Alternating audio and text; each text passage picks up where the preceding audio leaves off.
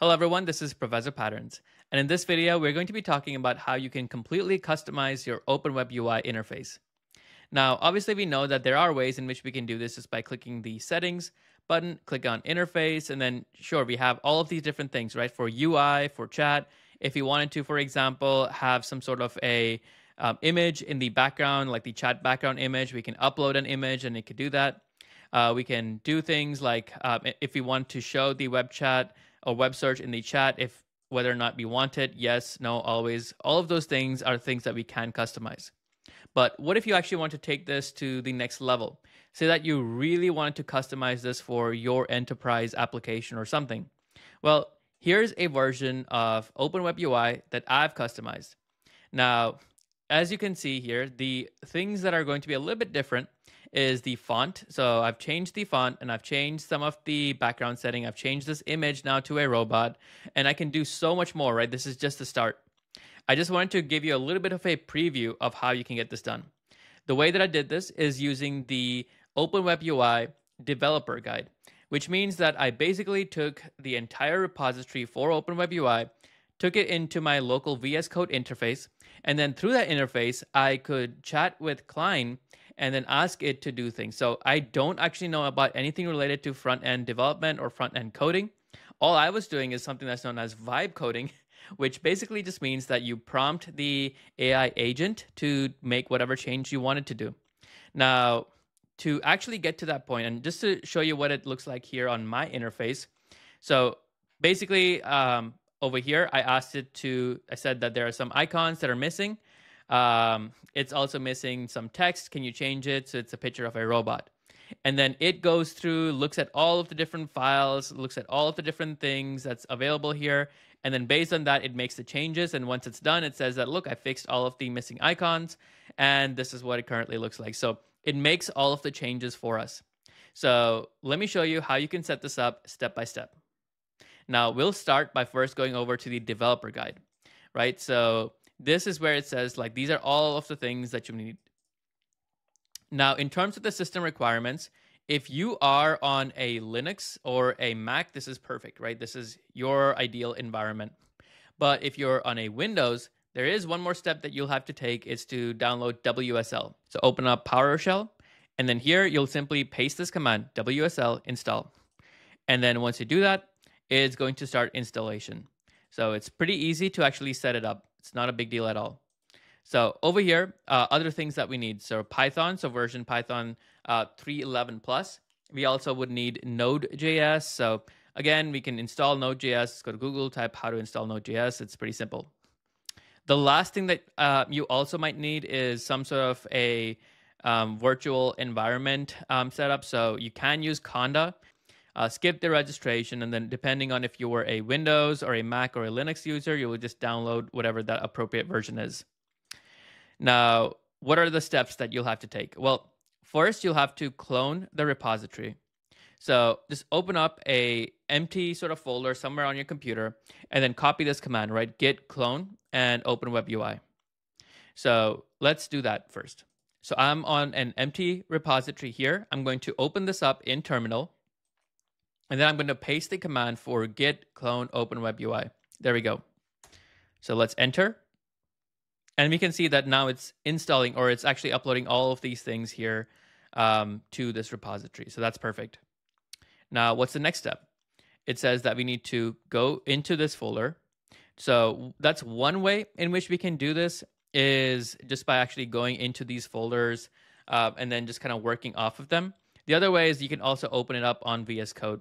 I always like to work with everything on VS Code, but if you prefer just to work with everything locally, that's fine as well um, if you're just setting it up for the first time. Now, the file that you need to be searching for is the .env.example file, which is available right here. Now, all you will do is just go here, or actually you can just rename this file and just remove the example. Just call it .env. That's it. So that's the next step is to create this in env file. And because we are using local llama, that should be okay. Next, we have to install the dependencies. So we have to copy this command npm install. And when we're pasting this command, we what we want to do is just to make sure that we're in that repository. because right now, if I look, I'm not in Open Web UI, so I need to cd to Open Web UI. And now that I'm in this repository, this is where I would run npm install. So after you get done running npm install, you the last thing that you'll run is npm run dev, and that's going to open up this front end on your computer. So that's the first part, right? That's the front end setup. The next thing is the backend. So to actually create the backend environment, all you will do is copy this command to go into the backend repository. And usually for this, you might just want to open up a new window, something like command prompt or PowerShell or whatever it is that you were using. Um, or you could just go back to the folder and then here open it in terminal. Now, the folder that we need to go to is called backend. So I'm going to cd to backend. And there we go. Now over here, what are some things that I need to do? So create the Conda environment. So copy this. It's very important that you use Python 3.11, especially if you're on uh, Windows because you have some conflicts with uh, some of that C++ redistributable files and it gets pretty messy. So just make sure that you're using the Python 3.11 version. So copy this command and then paste that here and then enter it. And that's going to create a new Conda environment for you. And then just make sure that you're also activating that environment. Don't make the same mistake I did. I was I forgot to activate it, and then that was a mess to clean up. Next, we want to just run uh, the pip install requirements.txt. And then once you get done running that, you can start the backend server. So sh dev.sh. Now, depending on what sort of operating system that you're using, this is not going to work on something like PowerShell, right? So either you can run it through something like git bash or you can run this through something like WSL. I'm currently running this through git bash and it's working fine. Don't really have any issues. So if I was to show you what that looks like, here it is. So I ran this on git bash and all I did was the run sh actually did not work for me but the command that did work is uvicorn open web UI main app, and then I specified the port and then host 0000. So I'm going to copy this command. If you're using a Mac, then this is or a Linux, then you don't have to worry about any of this. If you're using Windows, then what I would say is just copy and paste uh, this command that I have here. And I'm also going to share a uh, link to this in the description so you can copy it from the description. Okay, so I currently have Open Web UI running on my local host 5173. That's the front end interface. It's missing an image here, but that's not a big deal. That's fine for now. Um, I went over to Cline and I asked it to change the typography, make the overall site look a lot more modern and sleek. Just a very simple prompt. So let's see if it's actually done here. Um, I got an API request error. Um, so far, it's costed me about 30 cents to run because it's the new um, Anthropic Claude 3.7 model. But we can see that it's currently making all the changes. It's pretty fast to run all of this code that, wow, that hurt my eyes for a second. But looks like it does, it did do something. I'm pretty excited to see what this is going to look like. Okay, so there we go. The font is definitely a lot different. Um, the image here is still going to be a little bit of an issue, but overall, not a bad improvement. Um, let's see if we can ask it to do something else. So here, I'm going to go over back to Cline, and I'm going to say something like, can you change the theme to, from dark colors to light contrast colors? Now, this is going to be a little bit more of a significant change, but let's see what this is going to look like eventually. All right, so now it looks like it is done. So let's hit Control C to exit out and then rerun npm run dev.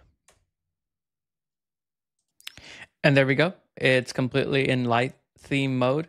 Not sure why someone would want that, but let me write a quick test to see if everything is working. And supposed to, oh, there we go. Okay, great. Uh, something else that I also want to fix now is these icons here. So what I'm going to do is, again, just take some screenshots, just like this, and then go back here, paste it, and then say, there are some icons that are missing. And I just said it is missing on the complete top left. And can you change that to make it look like a picture of a robot? So basically I wanted to change this and this to look like some sort of a robot. So let's see if Cline can figure how to figure out how to do that. So it did go through a couple of different um, iterations, cost me a dollar and sixty cents. But here we go. This is what it now looks like. So not a bad job overall, I will say. But this is basically it, right? Like, uh, if you have any cool ideas, this is the place that you can try it. I'm not a coder by any means. I don't know anything about front end development. All I'm doing is vibe coding, which basically means I'm just typing what I want Claude to do. Uh, obviously, if I did know about anything related to, um, I guess this is HTML, so that should be fine. But any of this other stuff, like the CSS looks okay. But any of these other things, if I did know how to actually work uh, with it, I would be able to come up with the solution a lot quicker. But I don't need to anymore because Cline is there to really help me out. So that's pretty much it for this video. If you wanted me to do a much more detailed use case where I actually program a completely different looking interface or anything like that, or if you have any other ideas, then please feel free to leave some comments in the comment section below. I really appreciate all of the support that you've been showing me over the last couple of uh, weeks of me posting, and I really appreciate your time. Thank you all for tuning in. I'll see you in the next one. Goodbye.